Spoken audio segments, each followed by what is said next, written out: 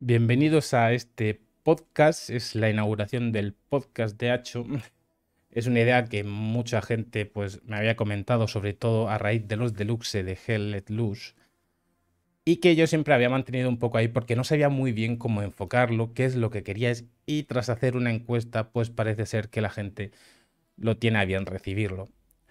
Así que he decidido partir, bueno, la encuesta ha dicho que se hable de todo Así que voy a hablar primero de algo que nos acontece, yo creo, o que es una reflexión a la mente humana, que es la distopía. Hoy, como primer programa del podcast, hablaré de la, distopía como tal y de si la idea de distopía es lejana o cercana.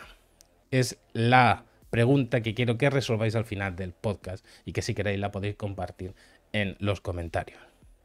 Si nos acercamos a varias disciplinas y de cómo han tratado el tema de la distopía, podemos obtener diferentes títulos de diferentes disciplinas, eh, como podría ser Neuromante de Gibson, es una biblia entre las biblias del cyberpunk, Blade Runner, que sería el referente cinematográfico, o Cyberpunk 2077 en caso de la disciplina de videojuegos, que a su vez proviene de una disciplina que sería juego de mesa, que es un juego de rol. Si tratamos de definir la distopia, nos vamos a encontrar con varios, con varios fallos que ya veremos al final del podcast eh, cómo se solventan.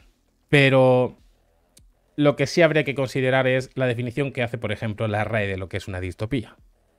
Que según la RAE sería la representación ficticia de una sociedad futura de características negativas causantes de la alienación humana. Y aunque la definición de distopía deja patente que es una sociedad ficticia, la pregunta que muchos nos hacemos y que puede que tú también te hagas es, ¿realmente la distopía, como la que genera Gibson o la muestra Blade Runner o Cyberpunk 2077 o 2020, es tan lejana a la realidad? Imaginemos nuestro propio mundo. La negatividad de los acontecimientos nos llevan a una ciudad, imaginemos, en Europa. Está invadida por todos aquellos artefactos tecnológicos que desde ahora las corporaciones han podido desarrollar hasta entonces. El ímpetu del ser humano sigue siendo la inmortalidad.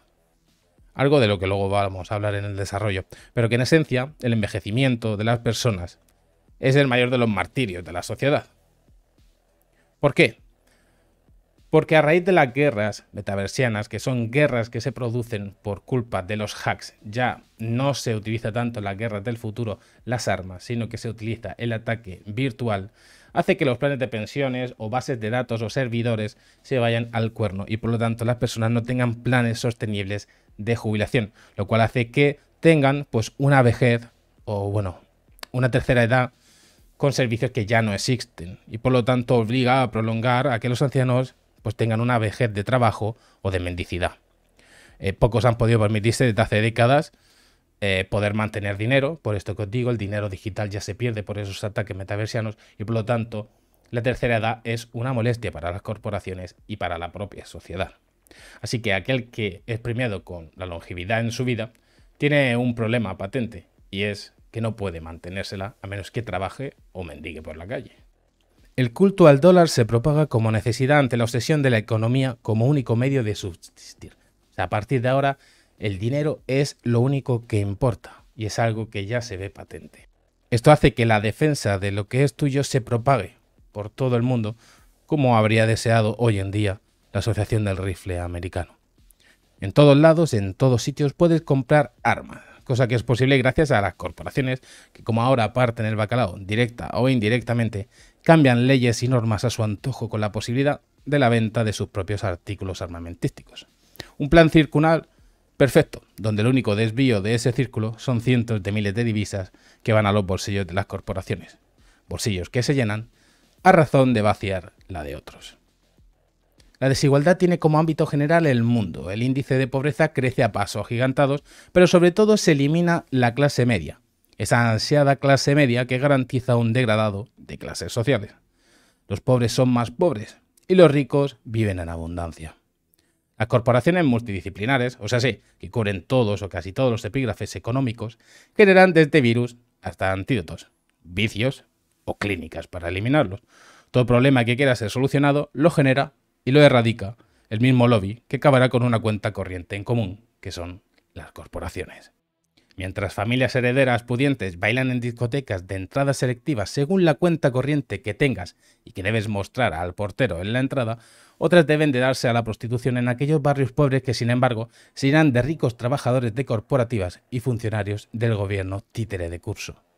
La prostitución o el trabajo de acompañante para personas en soledad, un problema bastante patente, son el recurso más fácil para conseguir dinero, aunque para nada eso significa que puedas salir de tu estatus social el culto al dinero solo te proporciona supervivencia a corto plazo, pero no cambia absolutamente nada de tu futuro lejano.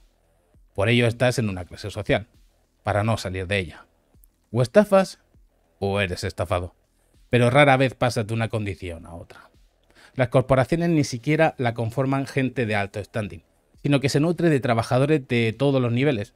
Solo una oveja sabe dónde duerme el resto del rebaño. Así que las corporaciones tienen trabajadores en todos los ámbitos y niveles sociales que proporcionen desde información tecnológica, espionaje industrial o datos para chantajear a un líder social, hasta el propio basurero que, pues bueno, pues cuenta cuántas jetillas de cigarrillos, 10% de tabaco real fumas a la semana para poder enviarte un email de promoción para venderte mejor o más tabaco. La marginación social por etnias, o sea, sea el racismo, ya es socialmente admitido o quizás la palabra es que la sociedad se ha resignado a que sea corriente. O sea, se, segmenta y se segrega por etnias, nacionalidades o zonas. Cada ciudad está conformada, por así decirlo, por pequeños guetos o distritos. Antaño grandes imperios como el español o el inglés ahora son desérticos parajes que a veces sienten la necesidad de intentar ser mejores naciones, pero que el polvo y la falta de apoyo de corporaciones sigue hundiendo en la misma miseria una sombra de lo que en el siglo fue España, en el siglo XVI, culturas o países que en las guerras del metaverso lograron reducir infraestructuras de países tecnológicos y gigantes a una mísera brizna de paja. Todo lo que antaño era gigantesco podía caer tan solo con una guerra de metaverso. Pongamos como ejemplo la Gran China y todos y cada uno de sus habitantes, millones, que fueron vencidos por una pequeña nación como sería Japón, un territorio muchísimo menor que China, pero que ahora que estaría, por ejemplo, contra Estados Unidos, controla la antigua Rusia y comparte territorios corporativos con otras corporaciones europeas. Eh, Estados Unidos en su mayor competente de Japón, y eso que extendió el capitalismo en toda Sudamérica hasta saquearlos en economía y en recursos. Los gobiernos nipones, sin embargo, y estadounidenses jamás pensaron que pasarían a ser puras empresas multidisciplinares y que cumplirían, por así decirlo, el puesto que tendría un gobierno. O sea, sí, en, la distopía ya no existen los gobiernos, ya no existen los partidos políticos y en aquellos países donde existen son simplemente títeres.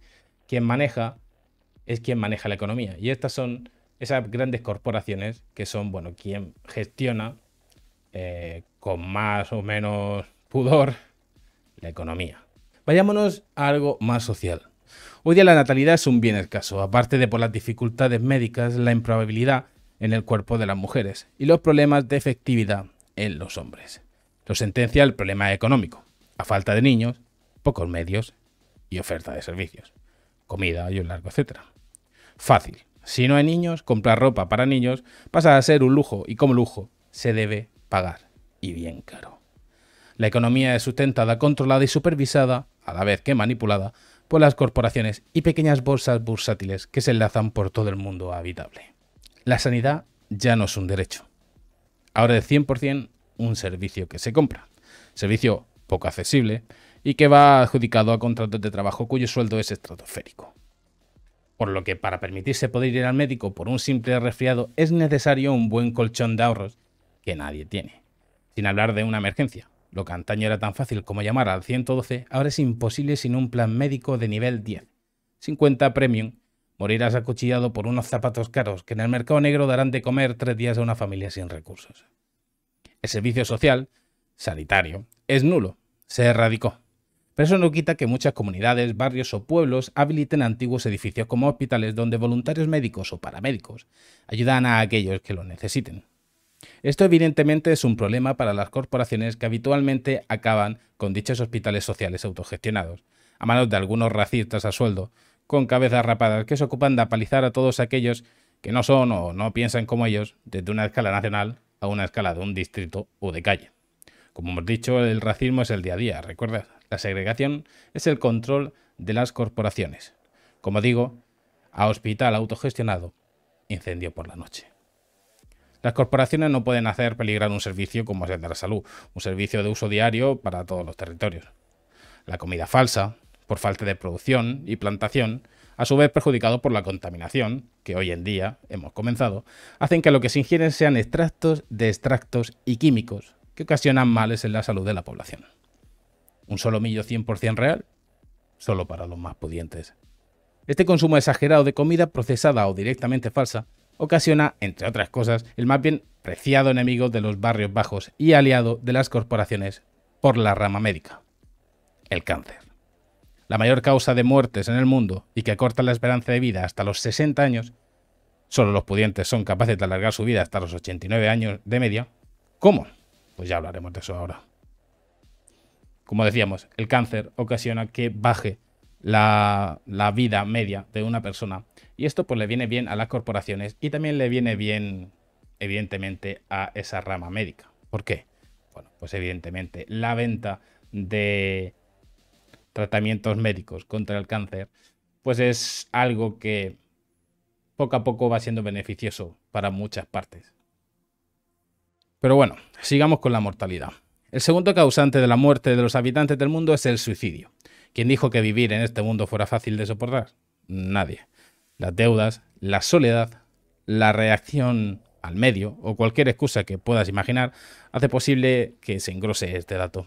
Dato que las corporaciones, por supuesto, eh, ocultan gracias a, a, que tienen a sueldo a los medios. Evidentemente son sus propias cadenas que encubren sin ningún tipo de complicación todas estas noticias.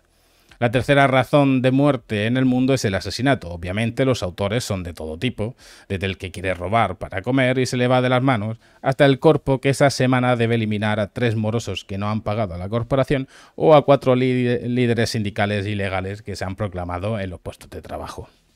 Como bien he dicho, dentro de unas décadas, y auguro que toda la eternidad, el ser humano prevé poder lograr la inmortalidad. Y parece que siempre estamos cercanos.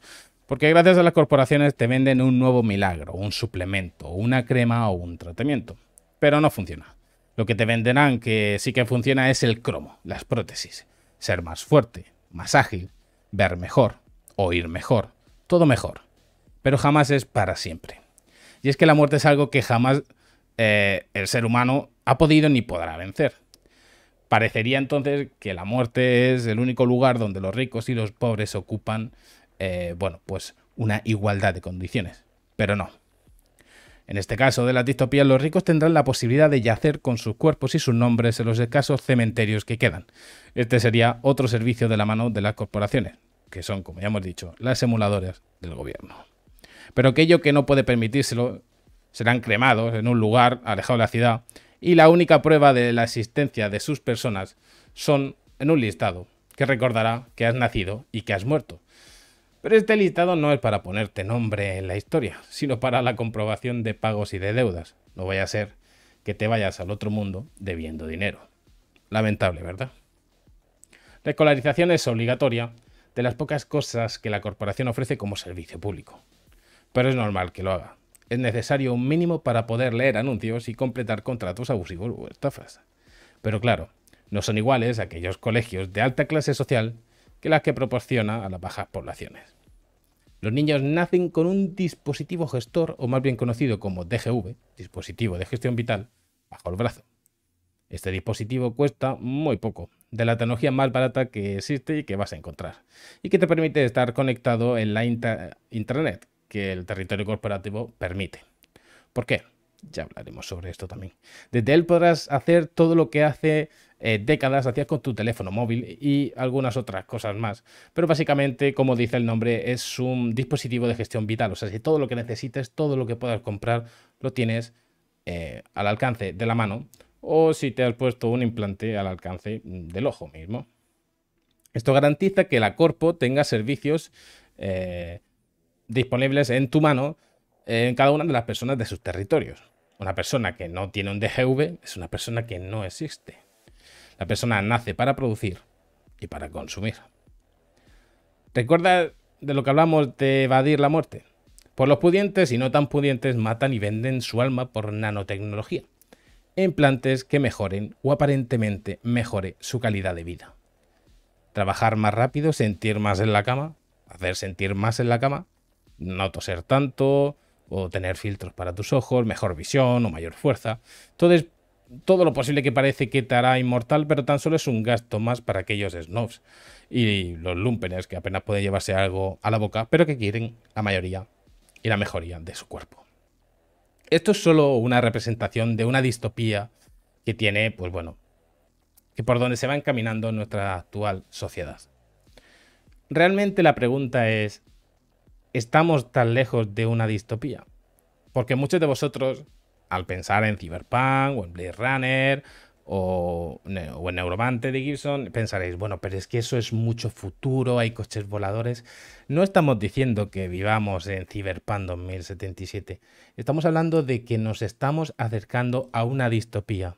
Hasta el punto de que si quitamos los coches volantes y quitamos eh, Arasaka y cuatro cosas, nos quedamos realmente con un reflejo o un inicio de este mundo. Por lo tanto, cada vez vamos a perder el derecho o la posibilidad de llamar distopía o una distopía.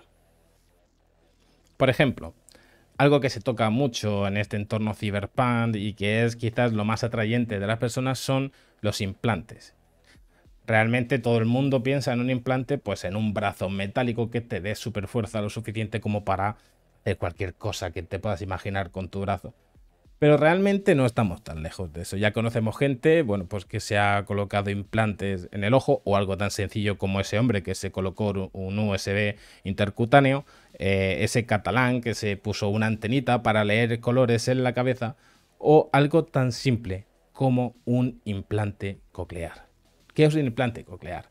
Bueno, pues es un implante que va eh, dentro del cráneo y que bueno, va imantado y se coloca un receptor fuera de la cabeza y que va directo al oído de una persona que es sorda. ¿Por qué? Porque esto lo que hace es saltarse la señalización de los sonidos, convertirlo en señalización digital y que le llegue a la percepción de la persona que es sorda. Muchos habréis visto a una persona con un implante coclear y no os habréis dado cuenta. Pues estas personas pueden considerarse cibos, por así decirlo. No de manera despectiva, sino de manera, pues bueno, un ejemplo. Es una persona que mejora su eh, calidad de vida gracias a estos implantes. Entonces realmente en ese aspecto no estamos tan lejanos. Realmente tenéis que pensar que en una distopía, en algo en el que nos vamos acercando, las personas cambian tatuajes por implantes. Esa normalización que hay hoy en día con los tatuajes a lo largo de las décadas se irá yendo hacia los implantes, cosa pues que, como pensaréis, no es tan loco. Si hablamos de las corporaciones, vosotros diréis, bueno, pero es que actualmente no hay ninguna empresa que gobierne un país, por lo menos abiertamente no, pero bueno, tenemos por ejemplo eh, a sabiendas de cómo la economía influye mucho en los partidos políticos, de esos partidos políticos que tienen deudas eh, con bancos, como puede pasar aquí en España, o con deudas con otras empresas. O también podríamos decir la colaboración o, o casi exclusividad de empresas con eh, gobiernos, como podría ser, por ejemplo, SpaceX de los Max, que básicamente se va a quedar con el monopolio de la economía, eh, por así denominarlo, aeroespacial con SpaceX, que ya está firmando y que ha firmado contratos de décadas con el gobierno de Estados Unidos.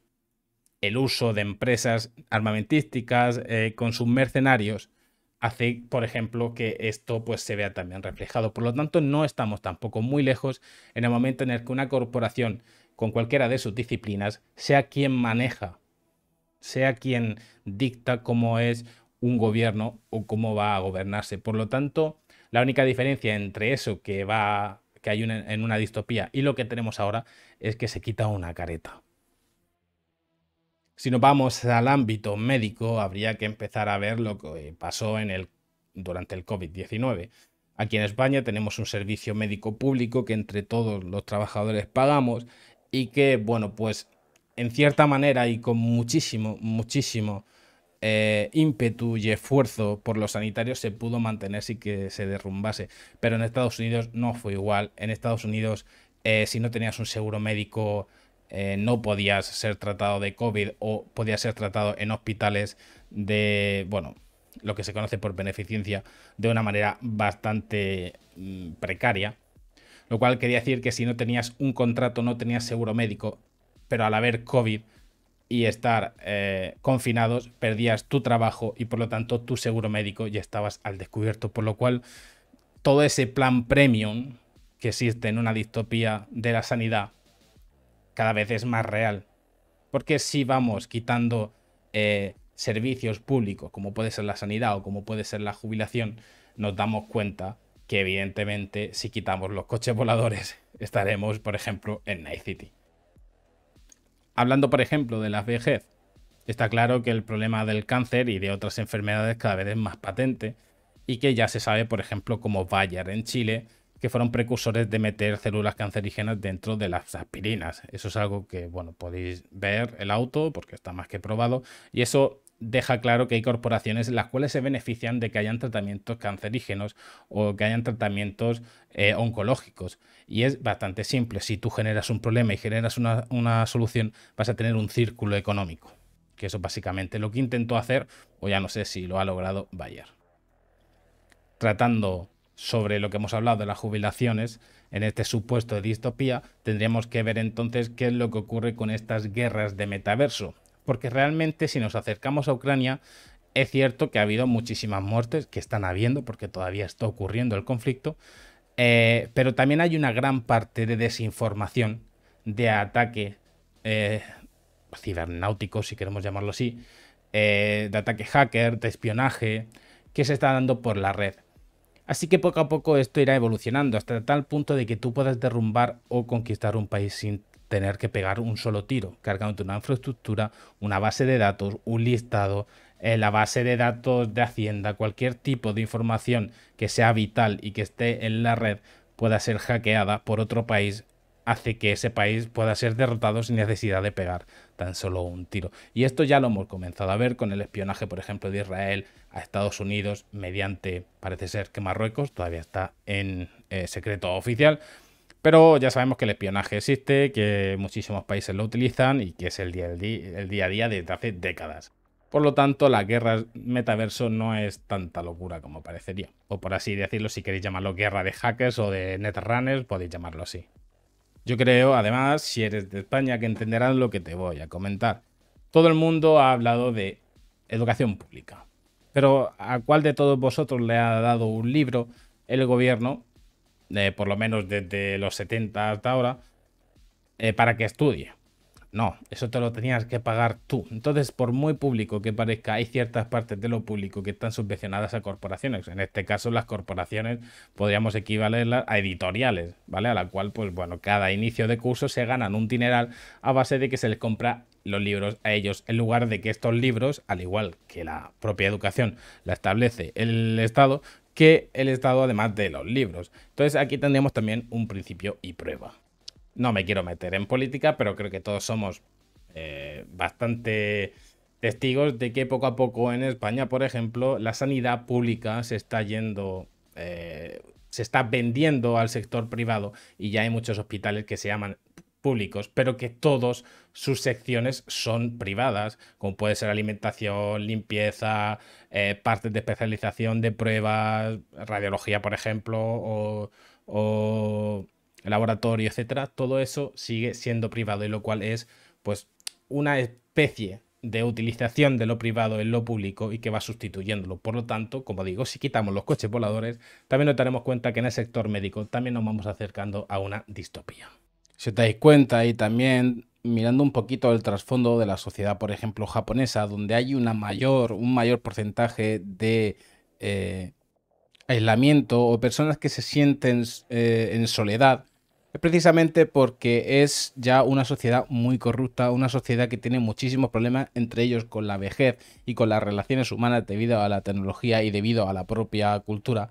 Y creo que es también un buen ejemplo a la hora de hablar de distopía, de cómo ese problema de soledad eh, vendría poco a poco más incurrida gracias pues, bueno, a los avances que nosotros podemos ver beneficiosos como puede ser la tecnología, pero que realmente en el trasfondo social tiene un perjuicio bastante grande, en este caso en soledad, algo que hace que se proyecten, por ejemplo, muchísimos suicidios. Esto, por ejemplo, lo podemos ver también en Cyberpunk 2077, donde casualmente por la calle puedes encontrar pues varias escenas que pueden parecer de un crimen, pero que realmente en el lore explica que son suicidios. De hecho, hay gente, yo personalmente, que he jugado mucho Cyberpunk, no me lo he encontrado, pero es cierto que hay gente que dice por internet que ha llegado a ver la animación de una persona suicidándose. Lo cual, pues bueno, creo que deja bastante patente de cómo esta distopía interfiere tanto en las vidas humanas como para considerar quitarse la vida. También durante esta historieta que me he preparado sobre una distopía basada en, esos, en esas tres disciplinas, también hablamos de la comida. ¿Qué ocurre con la comida? La comida en una distopía, al igual que pasa también en, con Gibson, con Blade Runner, con Cyberpunk, es que la comida cada vez, al no poder plantar por la contaminación, como digo, también sigue siendo un círculo vicioso, al no poder plantar, al no poder mantener una plantación o la industria cárnica, cada vez la comida es más procesada, tiene menos pureza y por lo tanto esto ocasiona que consumamos químicos y medicamentos que al final pues eso ocasionan más enfermedades que otra cosa. Si recordamos por ejemplo el videojuego Cyberpunk 2077 veremos que venden el agua eh, como agua real, es un agua que es real. ¿Por qué? Porque el resto de aguas no son reales, son eh, químicos o tratadas y por lo tanto pierden realidad. Y esto poco a poco nos vamos dando cuenta. Si os dais cuenta, habían alimentos que en nuestra juventud era muy normal encontrar por cuatro chavos y hoy en día es mucho más escaso y mucho más caro. Cada vez vemos, por ejemplo, que la industria cárnica es más perjudicial para el medio ambiente, lo cual quiere decir que se puede reducir pese a no reducirse las necesidades del mundo y que esto vaya a ocasionar pues bueno, que se tengan que ingerir otro tipo de alimentos no reales y que puedan ser perjudiciales para la gente. El auge, por ejemplo, como digo, de la utilización de armas, yo creo que es más que evidente, todos sabemos las matanzas que hay en Estados Unidos, pero sin embargo, muchos países de Europa, de Sudamérica, eh, como que muchos partidos intentan decir que sí, que lo correcto es tener un arma para autodefenderte en casa cuando realmente eh, en Europa, por ejemplo, prima que haya un, cuerpo eh, policial que vele por la seguridad de todos y pese a ello hay menos incidencia en Europa que en Estados Unidos y sin embargo pues hay partidos que abogan porque tú tengas una pistola en tu casa o que se vendan pistolas como el que vende churros. Y respecto, por ejemplo, a la muerte, también hay que decir que es cierto que no es ninguna locura. La muerte per se es un servicio que no es público, por así decirlo. Por ejemplo, en España tú tienes que pagar lo que se llama perpetuidad, que esto es una tumba que te corresponde por 99 años y que hay que pagarla, creo que cuesta cerca de los 1.500, dependiendo de la comunidad autónoma, unos 1.500 euros, lo que sea aproximadamente unos 1.700 dólares o 1.800 dólares, más luego tienes que pagar la lápida, etcétera. O sea, no es un servicio público. Eh, creo que lo único público es que el Estado te da un nicho durante 3 años o 5 años y luego pasarías al osario. O sea, sí que es básicamente, como digo, el osario es el equivalente a ese listado de nombres y que evidentemente el reflejo de las deudas, de que poco importa tu vida, poco importa tu nombre, porque realmente lo que le importa a los vivos, a las corporaciones, es ver si debes algo para cobrárselo a los que quedan aquí después de que tú te vayas. Y es que también hay que llegar a una conclusión. Como hemos dicho antes, Cyberpunk 2077 es un videojuego que nace a raíz de un juego de mesa llamado Cyberpunk 2020. Es un videojuego que nace eh, a raíz de ese juego de rol, ese juego de mesa en el año que se genera en el año 1988 por eh, Mike Pondsmith. Que bueno, pues es un videojuego que, como digo, trata o traza una línea de una distopía. Esta distopía que comienza en 1988, como tenemos la posibilidad de hablar con Mike, Mike dice en varias entrevistas que sí, que cuando él pensó en una distopía en 1988, no sabía que se iba a parecer tanto a su distopía de 2020. O sea, si el propio Mike dice que estamos cumpliendo esa propia distopía, que sus trazadas, que sus líneas están cumpliéndose, lo cual quiere decir que él puede y o él tiene que proyectar una nueva distopía, porque ya hemos llegado a la distopía que habla prácticamente, así que hay que trazar una nueva distopía.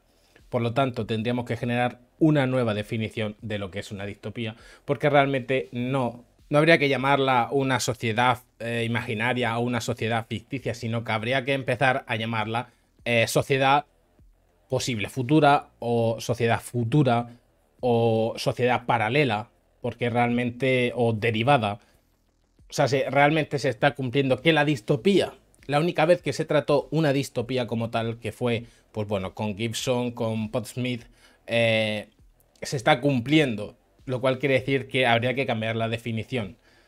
La pregunta que yo tengo, y porque tampoco quiero alargar mucho, porque no sé muy bien cuánto tiempo queréis o podéis soportar un podcast con mi voz, es realmente el planteamiento que yo os hago, es realmente estamos tan lejanos de esta distopía.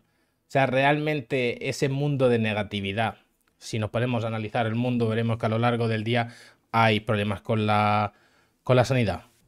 No hablo de la sanidad en España, sino la sanidad en general. Hay problemas de contaminación, el cambio climático, eh, guerras, hambre, eh, gente que se tiene que ir de un país a otro por una guerra, por una acusación, por un cambio de ideales, por mil por deudas, por mil cosas. O sea, realmente estamos tan lejos de esa distopía negativa, de esa distopía ficticia. Entonces, pues esto es algo que yo os quiero, bueno, que penséis, que recapacitéis, que preguntéis si realmente estamos tan lejos de no poder ser libres y depender siempre de alguien mayor de todos estos problemas que hemos visto. Así que me gustaría saber tu opinión, me gustaría saber tu opinión sobre el podcast. Vamos a hablar de todo, vamos a hablar de historia, vamos a hablar de curiosidades, de temas que no tienen nada que ver con lo común, simplemente un sitio donde ponerse esto, ponerse a hacer cosas, escuchar, pensar y compartir ideas y compartir reflexiones. Así que muchísimas gracias chicos por escuchar este primer podcast. Ya sé que no ha sido muy largo, pero como digo, quiero saber cuál es la longitud que preferís, que queréis. Hay podcast de 30, de 45 minutos, de una hora, pero a mí me gustaría saber cuál es vuestra opinión respecto a todo esto. A que me vayáis guiando un poco sobre lo que os gustaría escuchar. Y con esto ya me despido. Un abrazo a todos chicos y nos vemos en el siguiente podcast en el capítulo número 2. Un abrazo.